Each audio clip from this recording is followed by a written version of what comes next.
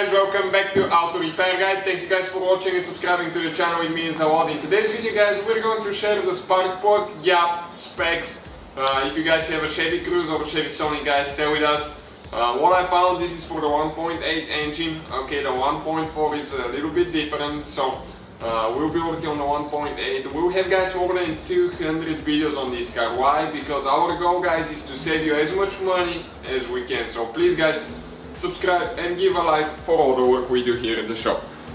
Most of the mechanical videos guys could be found on this channel Auto Repair guys. Uh, we'll have quite a few electrical videos as well on our new channel called Electrical Car Repair Live. Please guys check it out. Now we have uh, as you can see the ignition coils out of here now.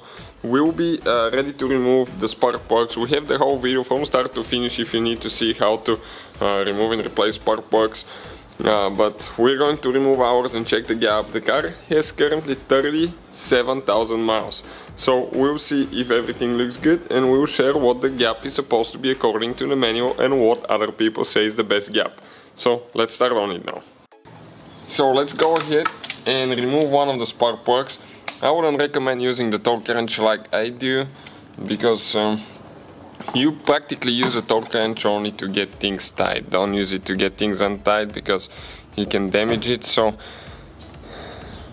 okay this one is about to come out now. Okay this is uh, this is guys the factory spark plug.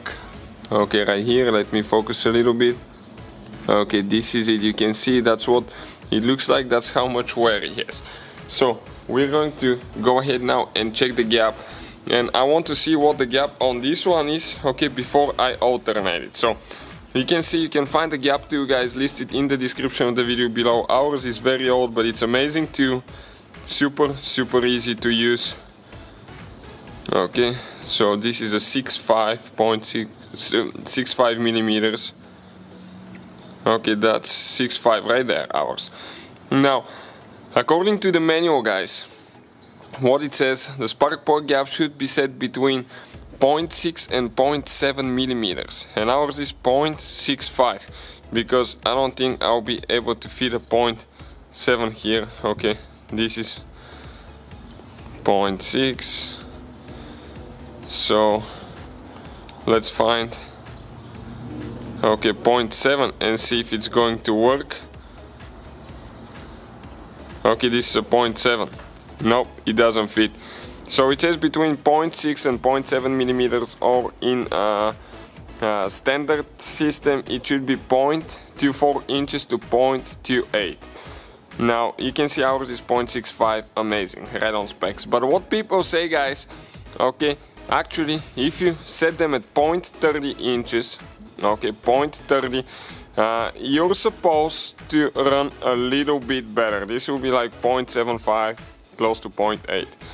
Now, why they don't do that at factory, I don't know, but people notice that it's a little bit better if you set it at 0.75 to 0.8. I will keep mine stock right in between. It says to between 0.6 and 0.7, so I'll leave it at 0.65. But uh, this is, guys, the spark plug. Okay, torque specs.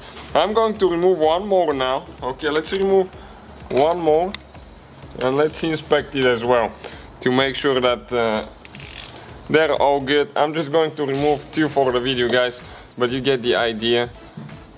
Uh, we have the torque specs how much you uh, you need to tighten those and all that stuff guys. We have more than 200 videos on this engine alone. So please guys okay subscribe to the channel. Our goal guys is to save you as much money as we can so we have the 0.65, okay, right here. Right on the spot. So ours are 0.65. So thank you for watching. Please subscribe to the channel for more videos and see you guys next time.